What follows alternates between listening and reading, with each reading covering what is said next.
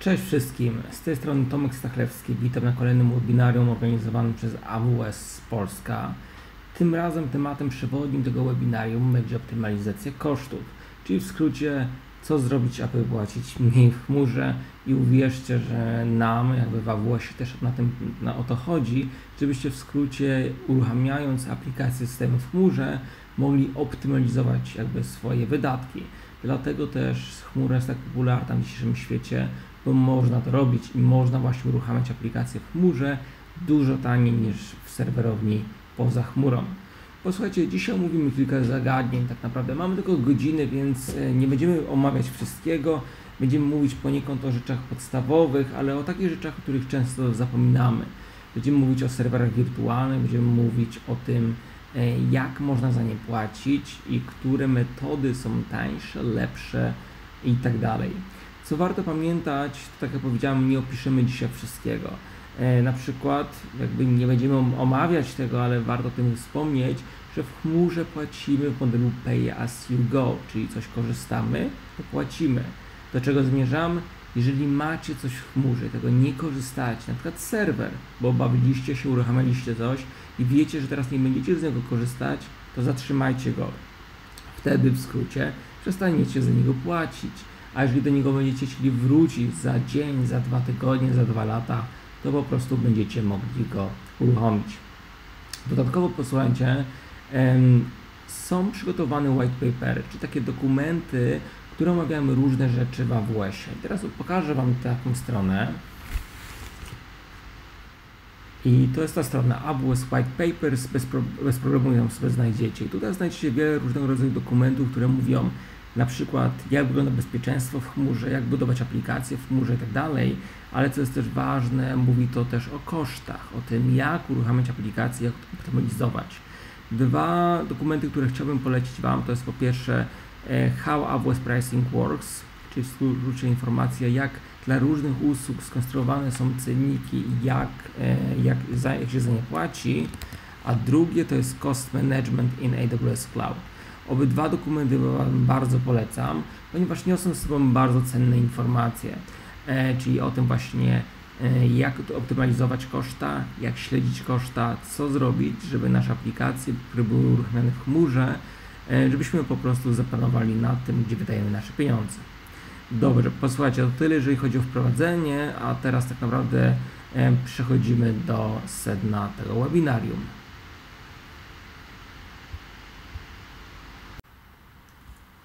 Dobrze, posłuchajcie, gdzieś trzeba zacząć nasz temat optymalizacji kosztów i zaczniemy od śledzenia tych kosztów. Czemu? No bo ciężko coś optymalizować, jeżeli tak naprawdę nie wiemy, na co, na co wydajemy nasze pieniądze. E, I chmura daje to możliwość, że bardzo łatwo zobaczyć, gdzie te dolary nam uciekają. Więc posłuchajcie, temat może być dla części z Was oczywisty, znany, ale mimo wszystko skupmy się na nim przez parę minut, żeby rozwiać wszelkie wątpliwości. Zatem posłuchajcie, przelogujmy się do konsoli AWS-owej i zobaczmy jak to wygląda w praktyce. Dobrze, posłuchajcie, jestem konsoli AWS-owej, teraz mamy dostęp do tych różnych usług chmurowych. Jedną z nich jest część AWS Cost Management. I tutaj między innymi jest część AWS Cost Explorer. Ja sobie to otworzę w drugim oknie i zaraz do tego przejdę. Bo teraz jest jeszcze teoretycznie coś takiego, to się nazywa billing. I teraz, jeżeli ja przejdę do billingu, to dostanę informacje o aktualnych moich zobowiązaniach finansowych na poczet jakby chmury, czyli to ile wydałem. No i widać, że w tej chwili wydałem 652 dolary.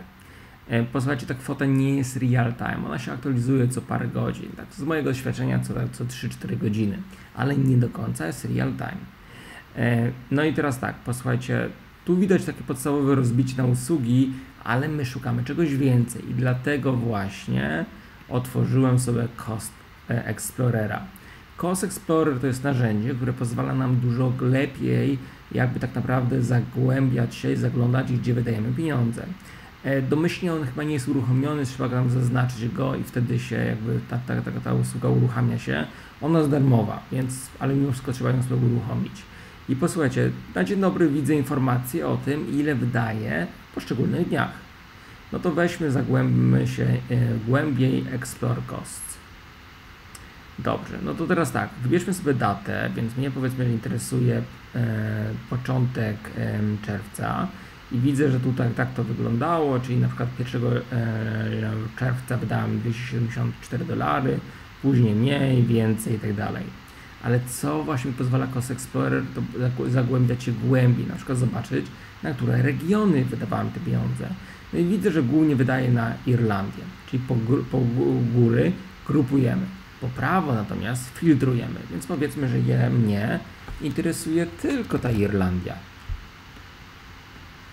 No to teraz oczywiście mam tylko Irlandię, więc wszystko z tej samej grupie. No dobrze, ale to może teraz mnie interesuje nie podział na grup, na regiony, ale na usługi. I zobaczcie, teraz na przykład wiem, że 1 czerwca wydałem jakby dużo pieniędzy na rzeczy związane z serwerami wirtualnymi. I teraz tak, tutaj możecie bardzo dokładnie szukać i patrzeć na co wydajecie pieniądze. Tu też pod spodem już widać w postaci graf, graf, tabelki, można sobie to pobrać w postaci CSV-ki. Co ważne, jeżeli tagujecie swoje zasoby, nadajecie im atrybuty, to możecie tutaj też je wykorzystać i na przykład właśnie e, filtrować to, grupować to według tagów. No i tutaj ja mam jakieś tagi i sobie to właśnie tutaj tak porobiłem. Słuchajcie, na podstawie tego możecie tworzyć raporty, czyli własne jakby tak, takie wizualizacje tego, co, czego szukacie, co jest również istotne. E, o, na przykład mamy już jakieś zbudowane raporty, na przykład monthly cost by service. No i tutaj na przykład zobaczę, że ostatnie nam N miesięcy, no na przykład w tym miesiącu, w styczniu, no głównie wydałem na Redshifta, czyli hurtownię danych, całkiem sporo, więc raport całkiem przydatny. Daily cost, to jest to, co w skrócie widzieliśmy, tylko trochę inaczej rozbite.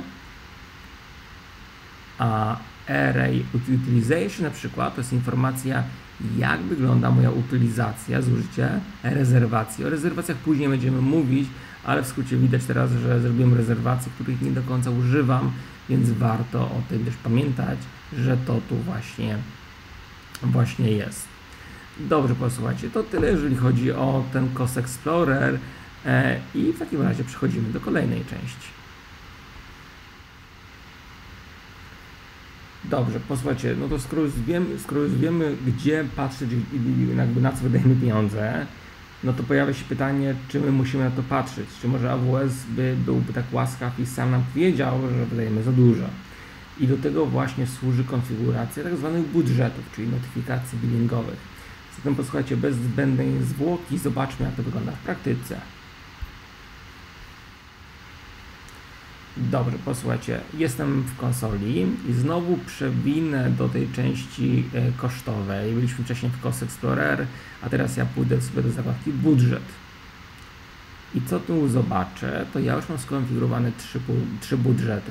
Ja na razie je zignoruję i utworzę sobie nowy budżet.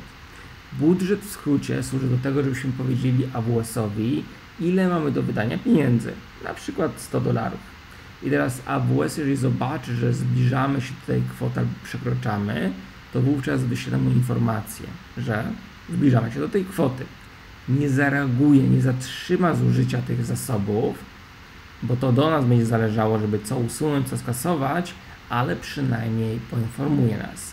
No i utworzymy sobie taki budżet, posłuchajcie, nazwę go sobie webinarium miesięczny i powiem, że ja mam do wydania 150 dolarów. Tu mógłbym sobie odfiltrować to, na przykład zrobić budżet tylko na konkretne usługi, konkretny region, konkretne tagi. Mnie to nie interesuje, bo chcę po prostu patrzeć na wszystkie koszta. I po prostu tutaj podałbym mój adres e-mail, więc powiedzmy, że ja teraz podam już jakiś sztuczny adres e-mail i powiem, że mnie interesuje, gdy przekroczę 100%, 100% tej kwoty. A może gdy AWS będzie widział, że może jeszcze nie do końca przekroczyłem, ale zbliżam się do przekroczenia, przekroczę na koniec miesiąca zostanę przy tej kwocie jakby, gdy przekroczę 100%, 100% i tyle. Małe podsumowanie, tworzę mój budżet. On za parę minut będzie aktywny, za parę sekund tak naprawdę. No i teraz jakby wykorzystam to istniejące, żeby pokazać o co mi chodzi. Widzicie na przykład tutaj, że mam jeden budżet, gdzie powiedziałem, że mam do wydania 2000 dolarów. Na tę chwilę wydałem 600 dolarów.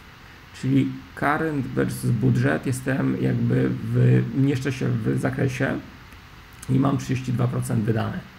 Ale AWS zakłada, że pod koniec miesiąca, jeżeli tak będzie szło moje wydatki jak teraz, będę miał prawie 3000 dolarów, więc przekroczę mój budżet o no, 147%. Więc na tym właśnie polega ten budżet. Widzicie, tutaj mam jeden budżet dolarowy. No już teraz przekroczyłem go znamienicie, bo 65 tysięcy. Na pod koniec miesiąca będzie o 300 tysięcy. Jakbym sobie teraz to odświeżył, to myślę, że szansa, że ten nowy budżet będzie zrobiony. O, to był ten. Widzicie, no już teraz przekroczyłem, pod koniec miesiąca będzie przekroczone 2000. No i teraz posłuchajcie, yy, warto to zrobić. Budżet, inaczej, jak zakładacie konta WS-owe, to budżet jest jedną z rzeczy, które od razu powinniście zrobić. Żeby sobie kuku nie zrobić, żeby w skrócie śledzić koszta i wiedzieć, i żeby być poinformowanym, jeżeli zaczniecie wydawać za dużo pieniędzy. Dobrze, posłuchajcie, to tyle, jeżeli chodzi o tą część, a w kolejnych zaczniemy jakby, przejdziemy w bardziej techniczne zagadnienia. Dobrze, posłuchajcie. Zatem e, pierwszą rzeczą, o której będę chciał powiedzieć, jeżeli chodzi o optymalizację kosztową, będzie wybór tak naprawdę wielkości serwera. Będę mówił tu o serwerze, to, ale tak naprawdę można byłoby to przenieść na również inne usługi, jak bazy danych i tego typu rzeczy. Czemu to jest niezmiernie istotne? Ponieważ tak naprawdę nagminnie widzimy, że firmy, że osoby uruchamiają w chmurze za duże serwery. Dlaczego? Bo są do tego przyzwyczajone, bo tak zawsze robiły też poza chmurą. Posłuchajcie, w chmurze chodzi o to, żeby wybrać taki serwer, który będzie idealny. Żeby jego utylizacja konkretnej metryki była rzeczywiście odpowiednia, może 80%, może więcej nawet. Natomiast z tego co widzimy, to bardzo często osoby uruchamiają serwery, których utylizacja jest na poziomie 20-30%. Czemu? Bo taka jest utylizacja właśnie też w ich serwerowniach często. Bo po prostu biorą większy, może się przydać. No i teraz pokażę Wam to na realnym przypadku. Zaloguję się do konsoli AWS-owej. Ok, posłuchajcie, zobaczcie. Jestem zalogowany do konsoli AWS-owej. E, uruchomiłem jak serwer www page, na którym w skrócie uruchomiłem pewną aplikację webową, która dodatkowo robi pewne dość intensywne obliczenia. I widzicie, że to jest to serwer M M5 4X Large. On ma bodajże z tego co pamiętam no, 8 CPU, chyba 16 GB RAMu czy coś koło tego. Tak naprawdę jest to całkiem duży serwer, na którym uruchomiłem moją aplikację. I teraz o co mi chodzi? Jeżeli zaznaczycie serwer i pójdziecie do zakładki monitoring, to tutaj zobaczycie pewne metryki. Pewne metryki takie najbardziej podstawowe, istotne, które widać. Między innymi CPU utilization. Ja teraz sobie wejdę do tej metryki i w skrócie zobaczę sobie, że jakby ten czas, gdy ten serwer jakby działa, ostatnią godzinę w tym przypadku. No i teraz y, jakby zignorujcie tego pika tutaj, bo po prostu mój test był trochę zbyt intensywny na początku i trochę on zaburza to, o czym chcę mówić. Skupmy się od tego w dale. I teraz zobaczcie, że tak naprawdę cały czas tutaj nasza średnia utylizacja CPU jest na poziomie no, około 50% około 50%, nawet czasem mniej i tak dalej. Czyli co to w skrócie znaczy? Że nie wykorzystujemy w pełni 100% serwera, jego mocy. Zatem tak naprawdę ten serwer jest za duży i spokojnie w tym moim przypadku mógłby być ten serwer dwa razy mniejszy. E, a czemu dwa razy mniejszy? No bo będzie w skrócie dwa razy mniej kosztował. No i teraz tu oczywiście to robię na podstawie metryki z CPU. Każda aplikacja udziela trochę inną specyfikę. Czasem to może chodzić o pamięć, więc tu też moglibyście w ten sam sposób analizować pamięć.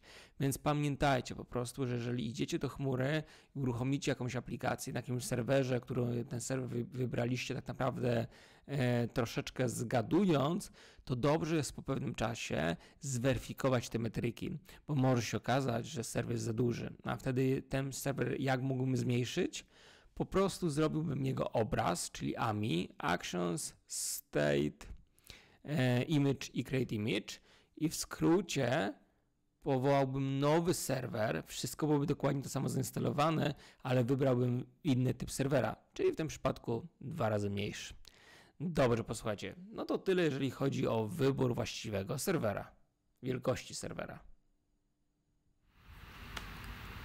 Dobrze, posłuchajcie, kolejnym tematem, o którym chciałem powiedzieć jest autoscaling. Autoscaling tak naprawdę to jest fundament chmury.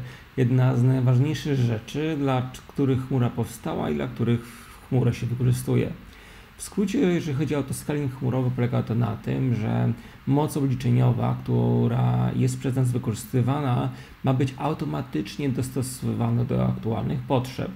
Zazwyczaj mówimy tu o skalowaniu horyzontalnym, czyli mamy pewną ilość serwerów, na przykład dwa, i teraz jeżeli chmura widzi, że zapotrzebowanie na te serwery wzrasta, bo na przykład mamy akcję marketingową, zwiększa się liczba użytkowników, to celem chmury jest, żeby automatycznie dodać kolejne serwery, aby odciążyć nasze istniejące serwery i żeby w skrócie nasza aplikacja nie umarła.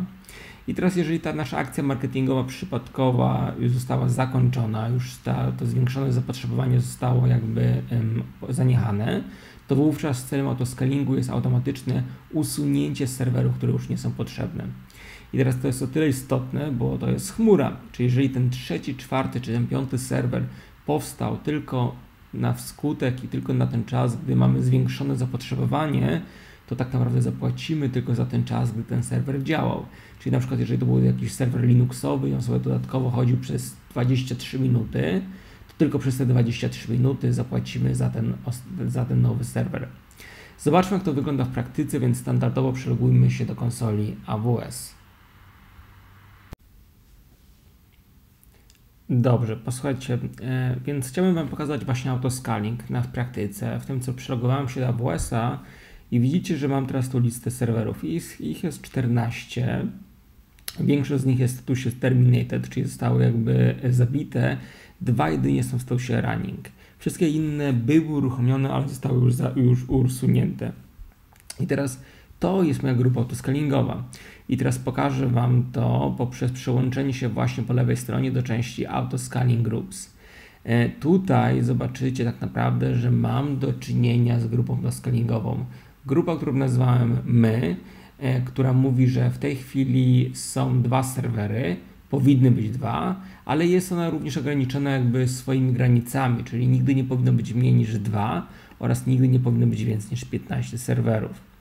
I teraz tak, e, czemu tam mieliśmy do czynienia z serwerami, które były zamknięte? Ponieważ tak naprawdę ja przetestowałem sobie tą grupę i do load balancera, który był tu podpięty, ja Wam to pokażę też po lewej stronie load balancers, on, ten balancer, który tu utworzyłem, wskazywał właśnie na serwery, które należały do tej grupy. Jeżeli ja ciągle wejdę sobie na tego load balancera, to zobaczycie, że to jest moja aplikacja, jak będzie świeże, to czasem zobaczę potencjalnie o, inny kolor, czyli w skrócie właśnie pod spodem mam dwa serwery wirtualne. Ale to, co ja zrobiłem, to na to właśnie, na tego load balancera w skrócie zrobiłem mały atak DDoS. Mały atak DDoS, który miał wymusić właśnie wyskalowanie. I teraz, czemu wymusił wyskalowanie? Bo jeżeli ja znowu wrócę tutaj do części autoscalingowej, to zobaczę, że tak ją skonfigurowałem, że AWS starał się, skasowałem to, wybaczcie. W skrócie tutaj skonfigurowałem sobie, żeby średnia utylizacja idealna była 70%, moje skalowanie.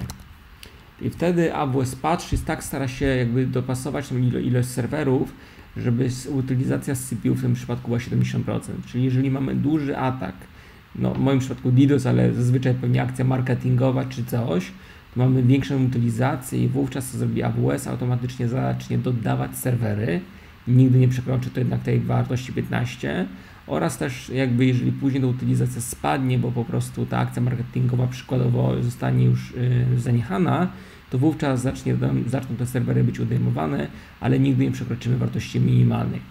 I teraz, jeżeli ja pójdę do monitoringu, to zobaczę tutaj w Desired Capacity informację, jak się zmieniała ilość serwerów w czasie.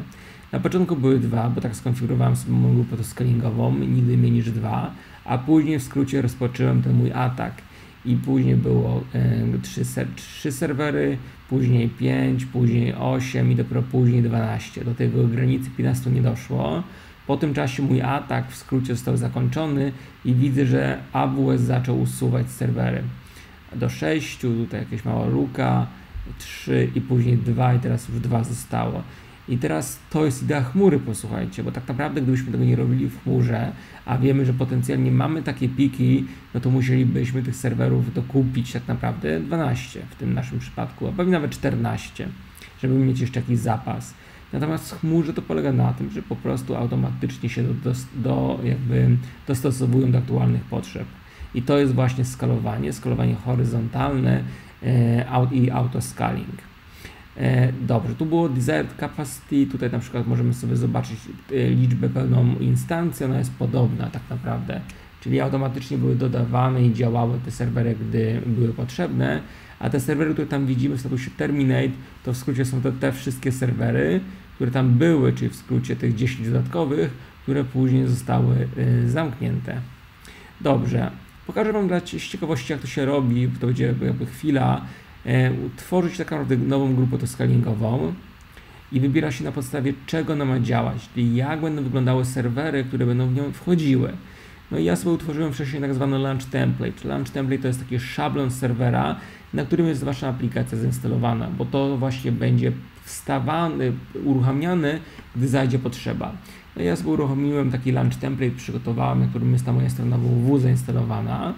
I tak naprawdę przyszedłem dalej, nazywałem to moją grupę jakoś, moja grupa 2 e, i w skrócie wybrałem sobie sieć, w której te serwery miały być uruchamiane. Zdefiniowałem ilość początkową. W kolejnym oknie właśnie mogłem skalowalność wybrać, posłuchajcie czyli na przykład te 70%. Notyfikacje mnie interesują, tu jakieś tagi i tyle. I tak naprawdę teraz mamy grupę autoscreeningową. I zobaczcie, na moim wygrasie pojawiło się, na mojej tabelce pojawiła się druga grupa, no z literówką moja grupa 2. W tej powinny być 2, w tej chwili jest 0. Jak odświeżę, to powinienem zobaczyć, o, już dodały dwa serwery. No i jeszcze ewentualnie bym zmienił te granice. Tak naprawdę teraz mam to min, min 2, max 2, czyli w skrócie one się nie będą skalowały. Będą, AWS będzie tylko dbał o to, żeby zachować ilość tych serwerów. I tyle właściwie. Dodałbym sobie jeszcze tu load balancer i właściwie mam tak naprawdę grupę autoscalingową, czyli mam moją aplikację, która automatycznie dostosowuje się do aktualnych potrzeb. Czyli posłuchajcie, jeżeli szukacie oszczędności i wasz asystent jest możliwy dla niego skalowalność horyzontalna, a powinno tak być, bo to jest dobra praktyka budowania teraz aplikacji, to w skrócie autoscaling to jest coś, co zdecydowanie powinniście wykorzystać. Dobra, posłuchajcie, to tyle, jeżeli chodzi o tę część i przejdźmy do kolejnej. Posłuchajcie, kolejna rzecz, spoty. Dla tych osób, które mnie znają, wiedzą, że w skrócie mam hopla na punkcie spotów, ponieważ uważam, że jest to jedna z najciekawszych rzeczy w AWS-ie. I to jest ta rzecz, która właśnie sprawia, że chmura jest tak popularna i dlaczego właśnie chmura może być naprawdę dużo lepszym jakby wariantem i tańszym wariantem niż własna serwerownia. Więc w skrócie, jeżeli nie znacie spotów, no to zdecydowanie musicie poznać. I teraz o co chodzi ze spotami? AWS jest całkiem sporą chmurą. No i teraz z uwagi na to, AWS ma dużo serwerów fizycznych, wirtualnych, które chciałby wykorzystywać, żeby te serwery były wykorzystywane przez e, klientów, użytkowników AWS-a. Oczywiście zawsze muszą być serwery, które potencjalnie są przygotowane dla nowych użytkowników, dla nowych klientów, czy dla klienta już istniejącego, który nagle powie, no to poproszę jeszcze tysiąc serwerów. Więc AWS stara się mieć zapas tych serwerów. No ale z drugiej strony, jakby może tak się zdarzyć, że te serwery są, ale w ogóle nie są wykorzystywane.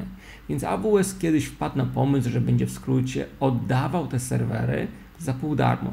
Pół darmo to nie jest do końca dobrym określeniem tutaj, bo tak naprawdę spoty są oddawane za cenę 20% ceny zwykłej. Czyli to jest 1 piąta ceny normalnej, 80% taniej niż normalny serwer. Posłuchajcie, to spot właśnie powoduje, że chmura jest tak bardzo popularna. No i teraz e, idziemy do chmury, mówimy, że potrzebujemy serwer, mówimy, że chcemy go z giełdy, no i możemy dostać ten serwer za cenę 1 piątą ceny normalnej. No oczywiście dzisiaj musi być haczyk i tym haczykiem jest to, że istnieje szansa, że ten serwer stracimy. E, w skrócie to polega na tym, że tak naprawdę można sobie ten serwer zawidować, można powiedzieć, własną cenę maksymalną. Czyli na przykład wyobraźmy sobie, że serwer kosztuje normalnie dolar za godzinę, a my mówimy, że chcemy ten serwer za 30 centów. No i wówczas to jest giełda, czyli ta cena się zmienia, jest 20, 18, 23 i tak dalej centy, ale może się zdarzyć, że ta cena będzie większa niż ta przez nas deklarowana, czyli na przykład 31 centów. No i wtedy jest ten haczyk. Wtedy co się dzieje, to AWS nam mówi, że zabierze nam ten serwer za dwie minuty. No i po dwóch minutach tego serwera nie ma. Więc stąd jest ten haczyk, dlatego na serwerach spotowych zwyczajnie ustawimy i uruchomimy aplikacji, która jest niezmiernie krytyczna, której strat nie możemy sobie, nie możemy sobie pozwolić na stratę. Na przykład baz danych czy jakieś systemy HR-owe. Ale realnie wszystko inne jak najbardziej. Analityka, rzeczy batchowe, e, systemy webowe, autoscaling, wszystko na spotach zdecydowanie tak.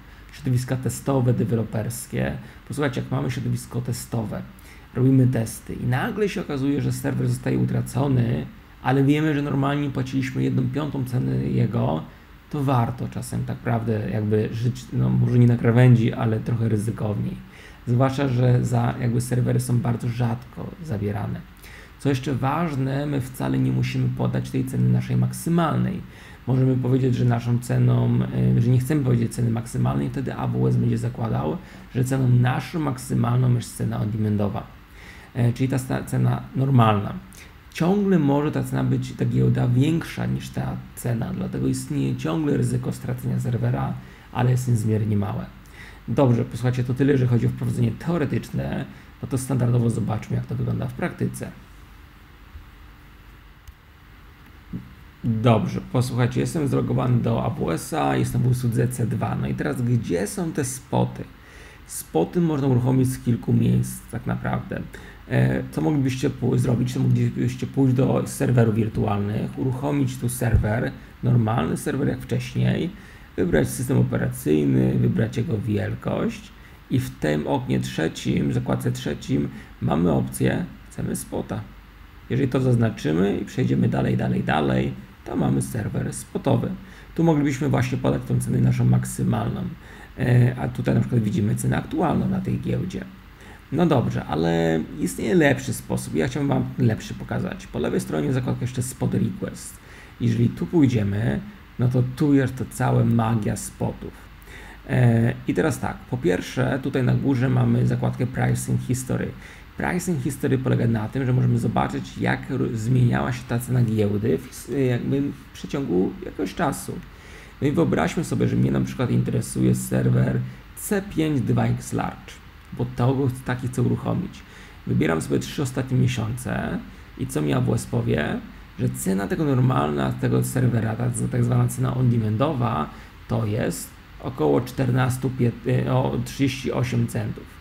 38 centów to tu po prawo widać. Czyli gdybym ja przyszedł, to mogę uruchomić zwykły serwer, tak jak normalnie uruchamiamy i będę płacił 38 centów. Ale gdybym przyszedł 3 miesiące temu do AWS-a i powiedział, że ja chcę ten serwer i będę maksymalnie płacił 30 centów, to bym od 3 miesięcy miał ten serwer za cenę 15 centów, no i tam w porywach. Te różne kolory to są różne strefy. Te strefy mają swoje cenniki, ale zazwyczaj mniej więcej oscyluje to wokół tej samej wartości. Czyli widać, że od 3 miesięcy płaciłbym dużo, dużo taniej. I to, posłuchajcie, ja mogę wybrać sobie inne serwery. Zobaczcie, jeszcze większa różnica. Normalnie serwer kosztuje 11 centów, a tu kosztuje na giełdzie 3 centy. No dobrze, no to skoro wiemy jak ta giełda, gdzie znaleźć informacje o tych cenach, teraz spróbujmy uruchomić z tego spota. Pierw przejdźmy sobie tutaj do zakładki Request Spot Instance. No to teraz co mogę sobie zrobić? To powiedzieć, że ja potrzebuję spota. E, posłuchajcie, no i teraz po pierwsze, czekajcie, wybrałbym sobie tak naprawdę teraz wielkość. Jaki, jaki serwer mnie interesuje. No i na przykład powiedzmy, że ja potrzebuję serwera, który ma na przykład, zaczekajcie, o tyle, o może to, co najmniej 2 CPU i 4 GB ramy, czyli to jest C5 Large, ok. No i teraz mogę sobie wybrać, czy ja chcę jeden serwer taki, czy kilka. No i załóżmy sobie przez chwilę, że ja takich serwerów potrzebuję aż 10. 10 takich serwerów potrzebuję. No to teraz co mi AWS robi, to mi rekomenduje tak zwaną, um, zaczekajcie inaczej, zrobimy, um, AWS teraz mi rekomenduje tak zwaną flotę. Widzicie, że tu są różne serwery i o co w tym chodzi? AWS mówi tak, nie uruchamiaj drogi użytkowniku 10 serwerów w oparciu tylko o ten typ. Bo jeżeli dla tego typu ta giełda przekroczy tą wartość przez nas zdefiniowaną, albo po prostu AWS będzie musiał zabrać te serwery, bo tak też może być, to wówczas te 10 serwerów stracimy. AWS mówi tak, Uruchom w skrócie dwa takie, trzy takie, dwa takie, trzy takie, jakaś tam ich ilość. W sumie będzie 10 serwerów. W sumie każdy z nich ma taką moc obliczeniową, jaka my, my chcemy. I tutaj na końcu mamy oszczędności. Widzicie, dla pierwszego serwera 62% oszczędzamy, 70, 70, 70. Ale co jest ważne, to siła tej floty, silna. To znaczy jest bardzo, bardzo małe szanse, że ten serwer spotowy, że wszystkie serwery stracimy. Czy istnieje taka szansa? Istnieje, ale niezmiernie, niezmiernie e, jakby mała. No i tu na końcu mamy podsumowanie, siła właśnie mocna i teraz estimated price, czyli mniej więcej AWS zakłada, że będziemy płacić w tym przypadku moim 19 centów za godzinę e, i to będzie o 67% taniej niż e, w OnDemandzie. E, zaczekajcie, tutaj zobaczymy jeszcze. O, posłuchajcie, jeszcze otaguję sobie te serwery, żebyśmy wiedzieli, że to są te spoty. Nazwę je spotek. Czyli w skrócie uruchomi się 10 serwerów i to będą spotki. I uruchamiamy. I tyle. To, co teraz AWS zrobi, zaczekajcie, bo ja tutaj mam e, kilka innych rzeczy, ale to nie, nie, na razie nie o to chodzi. Ten pierwszy rekord to jest moja flota zarequestowana. Widzicie, że teraz zarequestowałem o 10 serwerów, w tej chwili mam 0. No i dostanę te typy serwerów, które to sobie wybrałem. Odświeżę. Mój request został przyjęty i jest aktualnie przetwarzany, dlatego jest w statusie active. I teraz co się za chwilę powinno zacząć dziać, to powinienem zacząć otrzymywać serwery. I tak naprawdę już widać, że je zacząłem dostawać. Jeszcze tu piszę 0, ale już widzę, że już je tutaj chyba je zaczynam dostawać. Zaczekajcie. Ok, i zobaczcie, teraz ta flota 10 na 10 serwerów jest uruchomione. Czy faktycznie jest? Przejdźmy na sekundkę do serwerów wirtualnych. Jeżeli wszystko będzie prawidłowe, to teraz powinienem tu zobaczyć w instancjach. Jeżeli sobie poszukam spotek,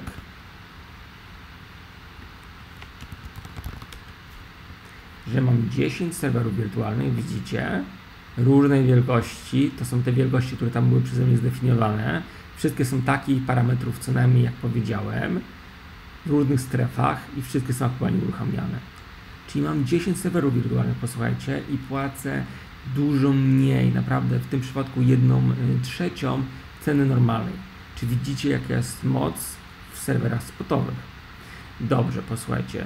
E, powiedzmy, że chcę teraz je zamknąć, ja sobie je zamknę, bo to na tym nie, nie, nie koniec. Chcę Wam coś pokazać. Pójdę do spod request i zaskasuję sobie mój tą, tą, tą flotę. Actions, cancel i canceluję. Dobrze. Spoty bardzo często są wykorzystywane też dla różnych rzeczy. Na przykład dla kontenerów dockerowych, jeżeli mamy Kubernetesa czy inny orkiestrator, wtedy spoty są genialne, bo dalej oszczędzamy, ale również dla grupy autoscalingowej. O grupie autoscalingowej już mówiliśmy, ale teraz co ja chcę Wam pokazać, to właśnie zrobienie grupy autoscalingowej, która wykorzystuje spoty. Posłuchajcie, przejdę zatem do grupy autoscalingowej i utworzę nową grupę. Ja tu już mam jedną, ja zaraz Wam ją pokażę, ale chcę Wam pierw pójść przez Wizarda. Standardowo wybieram pierw obraz tego serwera, który chcę skalować. To jest ten obraz, który wcześniej sobie przygotowałem. Nazwę sobie na przykład moja nowa grupa i teraz co ja tu robię, to mówię nie wykorzystuj konfiguracji z szablonu, tylko chcę to tu zdefiniować na nowo. I pierwsze co zrobię, to znowu wybieram sobie informację, z jakich serwerów ja chcę te spoty wybierać. No to wyobraźmy sobie, że ja chcę wybierać te serwery, na przykład serwery, które takie, które mają po dwa CPU, bo powiedzmy, że to dwa CPU jest czymś dla mnie istotnym. Ten serwer i może jeszcze ten serwer. Dobrze. I teraz ten checkbox poniżej jest najbardziej istotny.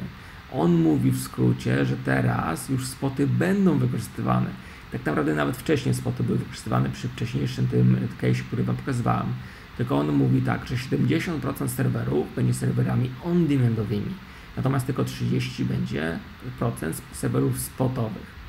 No ale powiedzmy, że ja nie chcę, ja chcę trochę bardziej jakby dynamicznie, więc od sobie odznaczam. I teraz mówię na przykład tak, ja chcę, żeby zawsze dwa serwery pierwsze były on-demandowe. no nie mogę pozwolić sobie, żeby w ogóle serwera nie było, a potencjalnie tak ryzyko byłoby. Czyli dwa serwery są zawsze on-demandowe, a cała reszta będzie spot. 100% spotów. I tyle. No i mówimy standardowo, ile chcemy serwerów, na przykład 20. Przechodzimy dalej, dalej, dalej i mamy, posłuchajcie, flotę serwerów składającą się ze spotów i on-demandów. Ja teraz tu zaanuluję ten wizard, bo ja to utworzyłem też wcześniej. To jest ta grupa ta, gdzie powiedziałem, że chcemy mieć 6 serwerów. E, I teraz reszta konfiguracji była analogiczna, czyli dwa serwery on-demandowe, natomiast cała reszta to jest spoty, bo nie on-demandy. No i teraz, czy to faktycznie działa? Posłuchajcie, ja sobie to tak skonfigurowałem, że te serwery już są uruchomione, bo to jest grupa doscalingowa i otagowałem je tagiem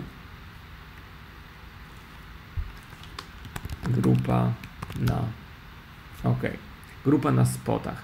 Zobaczcie, mam trzy serwery wirtualne. Róż tej wielkości, które tam sobie wybrałem. No ale teraz pytanie, czy faktycznie część z nich jest spotami, a część nie? Posłuchajcie, AWS nam mówi. Ja to sobie dodałem kolumnę. Tutaj, jeżeli ktoś tej kolumny nie ma, to tu jest zębatka na górze, można sobie wybrać. I teraz w skrócie, w lifecycle ja widzę, że tak naprawdę dwa serwery to są on-demandy, a reszta to jest spoty. Jeżeli teraz ten serwer potencjalnie mógłbym utracić, bo to jest serwer z giełdy, ale jeżeli go utracę, to wtedy AWS automatycznie odtwarza ten serwer na podstawie innego spota. Więc widzicie, jakie to jest proste i w skrócie, jak bardzo trzeba to wykorzystywać. Posłuchajcie, chcę Wam pokazać jeszcze jedną rzecz, tak zwanego advisora. Tak bardziej jako ciekawostka, bo też się może przydać. W skrócie on też dodatkowo podpowiada, jakie są szanse, że serwer stracimy. No i wybieram sobie Irlandię, system Linux. I teraz mówię, ile znowu potrzebuję CPU. No to ja potrzebuję tych powiedzmy 2 CPU, ile tych RAMu? No powiedzmy 4 GB RAMu. I teraz AWS mówi tak naprawdę tutaj, jakie serwery mi pasują pod mój ten workflow, czyli, czyli pod te dwa CPU i 4 GB RAMu, na przykład ten, ten, ten, ten, ten, jakie są oszczędności względem tak naprawdę tego serwera windowego i jaka jest szansa stracenia. Widzicie, że szansa stracenia jest poniżej 5%. No i tutaj ja mogę sobie inne jeszcze włączyć te serwery. O, zobaczcie, szans, szansa stracenia tego serwera 10%, powyżej 20%. Ale dla wielu, wielu, wielu ta szansa jest dużo mniejsza, poniżej 5%, dlatego spoty należy korzystać. E, posłuchajcie, bo też często się pojawia pytanie, można sobie tak to skonfigurować, że ten serwer, którego AWS zabiera, on nie zostanie ubity, zabity, tylko zostanie zatrzymany. I też jeżeli później na giełda znowu jakby cena upadnie, to on znowu się podnosi tak naprawdę, więc to też można uruchamiać. Dobrze, posłuchajcie, o tyle, jeżeli chodzi o spoty, ale w skrócie zdecydowanie polecam i zdecydowanie warto się pobawić. Jeżeli zwłaszcza też bawicie się AWS-em chmurą dla, dla siebie, to bawcie się spotami. Po prostu będzie tam 80% taniej. Dobra, posłuchajcie, przechodzimy do kolejnego tematu. Posłuchajcie, w poprzedniej części mówiliśmy o spotach, Kolejnym typem zakupu serwerów, wykorzystania serwetu, serwerów jest tak zwana rezerwacja. Czyli w skrócie mieliśmy on-demandy, mieliśmy spoty, a trzeci typ to jest rezerwacja. Rezerwacja to jest sposób, w jaki znowu możemy zaoszczędzić jakby pieniądze, bo polega na tym, że w skrócie serwer wirtualny dostaniemy tak mniej więcej 50% taniej niż jego cena e, standardowa. I co więcej, e, na pewno go nie stracimy. E, rezerwacja polega tak naprawdę na commitmencie. Tak naprawdę, gdy wybraliśmy już serwer, jego wielkość, wiemy, że będziemy z niego korzystać przez rok albo przez trzy, to możemy powiedzieć to AWS-owi i wówczas AWS obniży cenę. Pi z oko mniej więcej o 50%, ale tam to jeszcze zależy od tego, czy właśnie mówimy o roku, o trzech, czy mówimy, że będziemy płacić dalej co miesiąc, czy może wszystko naraz i tak dalej. E, posłuchajcie, to zobaczmy jak to wygląda w praktyce. Dobrze, posłuchajcie, czyli tak, jestem w usłudze EC2 i teraz tym razem po lewej stronie nie pójdę do spotu, tylko poniżej mam Reserved Instances.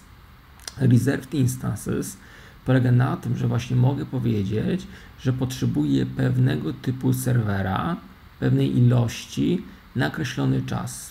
Tu 12 miesięcy. Widzicie, że ja w tej chwili mam trzy rezerwacje. Rezerwacje na te 2 mikro, na M3 large i na C5 large, każda wielkości 1. I to polega w skrócie na tym, że teraz jeżeli bym uruchomił jakiś z serwerów o tej wielkości, to AWS zobaczy, że mam rezerwację na taki serwer i będę płacił mniej. Gdybym uruchomił na przykład dwa serwery M3 Large, no to w skrócie jeden z nich losowy tak naprawdę będzie podjęty rezerwacją. No dobrze, no to w takim razie jak coś takiego się rezerwuje? E, no powyżej przycisk, no ciężko go przegapić. Dobrze, posłuchajcie, pojawił się pop-up i ten pop-up jest po to, żebyśmy wybrali sobie taki typ serwera, którym chodzi, który chcemy zarezerwować. No i powiedzmy, że ja sobie wybiorę pewien serwer. Niech to będzie w tym przypadku, dajcie mi sekundkę, C5.2x Large. C5.2x Large w oparciu o system Linux. Teraz wybieram sobie długość mojego kontraktu tak naprawdę, na ile chcę zrobić rezerwację. Mogę robić rezerwację 3-letnią, wtedy będzie najtaniej, no ale to jest commitment na 3 lata. Czyli w skrócie, jeżeli po roku się rozmyślę, no to dużo nie będę mógł zrobić. Będę mógł musiał płacić. Ewentualnie sprzedać, ale no, powiedzmy upraszczając, że na 3 lata będziemy musieli ten serwer, będziemy musieli płacić za ten serwer. Więc ja zrobię rezerwację na rok. Kolejna rzecz, wybiorę sobie opcję class, convertible albo standard. Ja do tego wrócę później, dobrze? Więc na razie sobie wybiorę opcję convertible. I co robię dalej? to mogę wybrać rodzaj płatności. Tu też nic nie ustawię sobie wyszukamy. I zobaczcie, że pojawiły mi się trzy opcje. Trzy opcje kupna tego serwera. No i teraz opcje różnią się tym właśnie payment option. Przy opcji no upfront nie płacę nic z góry, płacę 30 centów za godzinę. Przy all upfront nie płacę nic miesięcznie, z góry płacę 2,5 tysiąca dolarów, no ale w skrócie za rok mam z głowy. Gdybyśmy sobie to pomnożyli przez 12, to będzie więcej, więc to koniec końców jest taniej, ale muszę zapłacić z góry. Lub ewentualnie coś pomiędzy, czyli pewna część na dzień dobry, a później miesięcznie. Powiedzmy, że skupimy się na tej opcji, czyli nic z góry nie płacę i dalej płacę miesięcznie teraz 30 centów. Czy to się opłaca? To jest serwer C5.2x Large. I teraz zobaczmy, ile taki serwer kosztuje normalnie. Zaczekajcie, to będzie było C5.2x Large to był ten serwer i zobaczcie, że on normalnie kosztuje 38 centów. Czyli w tym przypadku oszczędzamy nie 50%, no ale tam, tam jeżeli dobrze liczę, to z 30% e, zaoszczędzimy na tym serwerze. E, dobrze, posłuchajcie, to też widać, jeżeli pójdę sobie do rezerwacji, do cennika rezerwacji, jeżeli tutaj wybiorę sobie e, serwer, który mnie interesuje, C5, 2. To widać właśnie, to, to wszystko co tutaj wcześniej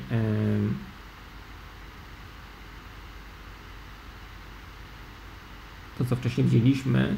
I teraz zobaczcie, ten serwer normalnie kosztował 30, 38 centów. No i teraz przy opcji no upfront 30 centów płacimy. I oszczędzamy 21%, trochę się pomyliłem. Przy opcji all upfront 26 i jest jeszcze opcja, y, to był właśnie ten convertible. Jest jeszcze opcja standard, tu oszczędzamy tam dużo więcej i do tego jakby odniosę się zaraz. No dobrze, powiedzmy, że mnie interesuje ta opcja, dodaję sobie do i kupuję. E, dobra, I teraz widzę, że będę płacił miesięcznie, tam godzinowo jeszcze 30 centów, obojętnie czy ten serwer będę faktycznie korzystał, czy nie. Dobrze. Posłuchajcie, tyle. Jest kupione, no prawie kupione, ta, ta opłata, tak jakby to przejdzie ta płatność za parę sekund. Ale w skrócie będę miał teraz te cztery rezerwacje. I jeżeli uruchomię taki serwer, no to będę w skrócie za jakby mm, będzie on tańszy. Dobrze, posłuchajcie. I teraz tak, zaznaczę sobie ten serwer i teraz pojawia się pytanie, czy ja mogę go zmienić. E, I mogę go zmienić, więc ja go sobie teraz wybiorę Actions i mam dwie opcje. Modify albo Exchange. Modify mamy zawsze dostępne. I Modify polega na tym, że mogę zmienić ten serwer w ramach tej rodziny, czyli te dwie pierwsze części, czyli C5. Czyli jeżeli, jeżeli ja sobie zaznaczę ten serwer i kliknę, to w skrócie on mi teraz mówi przelicznik, ile mam unitów. I chodzi o to, że ja mogę zmienić ten serwer, ale suma tych unitów musi być podobna.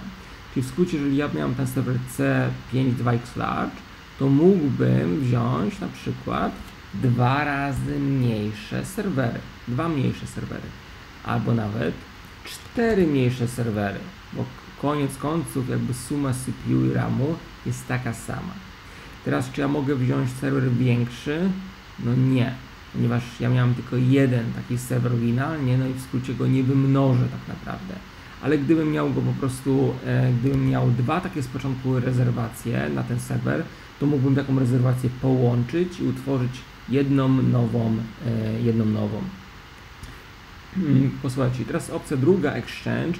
Exchange polega w skrócie na tym, że ja mogę, już nie będę to klikał, mogę zupełnie przenieść ten serwer na zupełnie inny serwer o innej rodzinie. Tam znowu przelicznik musi być podobny, ewentualnie będę musiał dopłacić oczywiście, ale w skrócie taka jest różnica. I teraz ta, ta opcja Exchange jest dostępna, jeżeli mieliśmy serwer Convertible. Ten Convertible dlatego był odrobinę droższy, bo po prostu daje nam możliwość później swobodniejszego przełączania się między różnymi rzeczami. Dobrze, posłuchajcie. To tyle, jeżeli chodzi o rezerwację.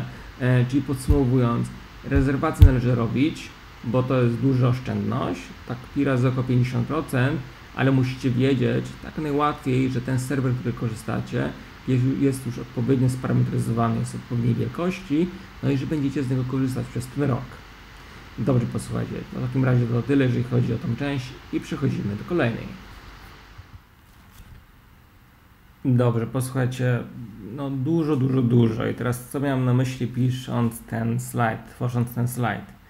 Posłuchajcie, AWS jest bardzo przejrzysty, jeżeli chodzi o, o ceny. Tak naprawdę to, co znajdujecie na stronie, no to są te ceny, które będziecie płacić. Jednak zazwyczaj też w cennikach zobaczcie to, że przy dużych wolumenach jakby wówczas AWS nie informuje o cenie. W skrócie mówi, skontaktuj się z nami. Więc do czego zmierzam? Jeżeli tak naprawdę macie, budujecie aplikacje, które są wyjątkowo duże, spore, bo bardzo często spotykamy to firmy, które migrują naprawdę gigantyczne aplikacje, gigantyczne jakby instalacje, albo może nawet nie jest gigantyczna aplikacja, ale po prostu jakiś jej parametr, który normalnie jest uzależniony jakby cennik od niej, od niego, jest wyjątkowo duży i w cenniku już w zestawie jakby w tej tabelce się nie mieści. Do czego zmierzam? Skontaktujcie się z nami, bo, bo co wtedy możemy zrobić, to potencjalnie możemy zobaczyć, czy dla takiego wolumenu odpowiedniego być może będzie można zastosować jakąś e, taryfę ulgową, czyli jakiś rabat tak naprawdę, e, więc, e, więc dawajcie znać. Dobrze, posłuchajcie, to tyle, jeżeli chodzi o to, o to, o to webinarium tak naprawdę. Poruszyliśmy kilka tak naprawdę tematów, głównie zahaczyliśmy o serwery wirtualne, ale warto pamiętać, że tak naprawdę każda usługa, którą potencjalnie dotykacie w chmurze, czy to będzie baza danych, czy to będzie storage, czy to będą bazy nierelacyjne, ma takie haczyki, takie, takie, takie rzeczy, które wpływają na cenę i teraz je można optymalizować i warto ku temu jakby się nad tym zastanowić. Posłuchajcie, standardowo przypominam, że istnieje free tier, czyli w skrócie możecie bardzo dużo rzeczy robić na AWS za darmo więc zdecydowanie polecam. Istnieje również Meetup AWS Polska. Tam znajdziecie informacje o różnego rodzaju szkoleniach, które robimy jakby w Polsce, szkoleniach darmowych, więc zdecydowanie też polecam. Kanał AWS Polska. Tutaj między innymi trafiają webinaria, czyli to, webina to webinarium też trafi na ten kanał, więc możecie zawsze obejrzeć, wrócić do niego w dowolnej chwili. Posłuchajcie, dzięki wielkie w takim razie. E, jeżeli będziecie mieć jakiekolwiek pytania, to możecie pisać do Arkadulika e, lub do mnie. E-mail tutaj, więc dzięki wielkie i standardowo do zobaczenia w chmurze.